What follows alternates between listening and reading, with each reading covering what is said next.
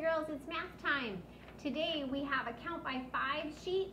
This time, however, we're adding the ones place, unlike yesterday where we added the tens place.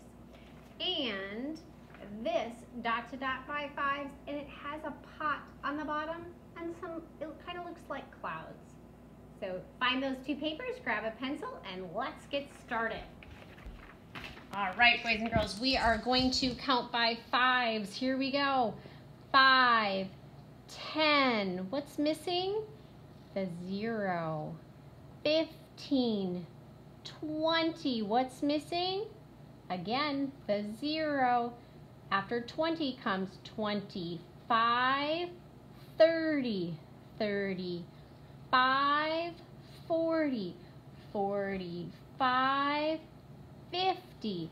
Let's look at the pattern we have here, boys and girls, with our ones place. So here's our ones place. Our ones place is going 5, then a 0, then a 5, then a 0, then a 5, then a 0, then a 5, 0, 5, 0, 5. What comes next? If you said 0, you're right. So we have 60, 65. Now it's time for a 0, which would be 70. Then 75, 80, 85, 90, 95, 100. So look at those ones places, boys and girls, and notice that pattern. If you need more practice, touch and count by fives one or two more times before you start the next paper. So if you need more practice, hit pause and practice now. If you think, I've got this, then it's time to move on. Here we go, we're counting by fives. And so we have to find where five is. Put your pencil on five and here we go. 5, 10, 15, 20, 25, 30. I'm going to let you finish that up, boys and girls. Then when you get done, remember you need to graph.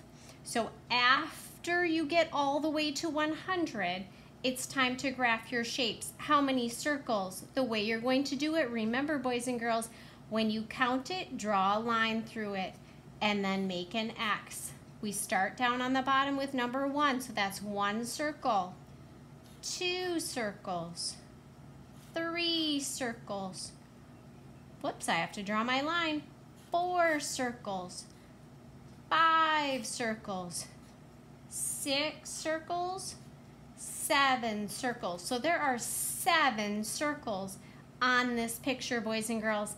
Next, you're going to do the jewels. The jewel is like a one, we can count the sides, one, two, three, four, five, six. So it's a six-sided shape, which would be a hexagon inside a one, two, three, four, five, six.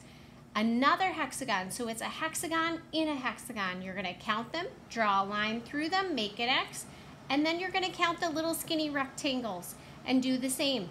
Find out which one has the most, which one has the least? All right, boys and girls, I know you can finish it on your own.